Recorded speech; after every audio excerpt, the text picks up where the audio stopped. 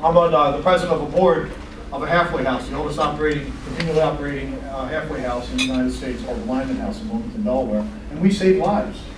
It's really what we do. We, we break the cycle of addiction. We take people that were in jail and turn them into taxpayers. And people re- re- reunite their families. That's mission.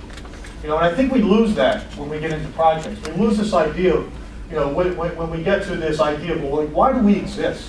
We're in an organization that's doing projects, but do we really understand why we exist and what's important to us? One of our clients is CVS Caremark, and they had their internal corporate screen playing when I was up there last month. And it said that they weren't going to run the issue of Rolling Stone in their stores. Anybody know why?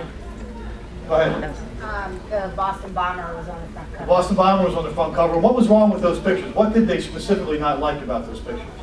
That they felt like it was promoting The terrorism. way they were promoted, and, and, and- and they were permitted, they were prohibited from producing those pictures, and they demonstrated some corporate value, right? What's important to us? What's our ethical approach to how we do business?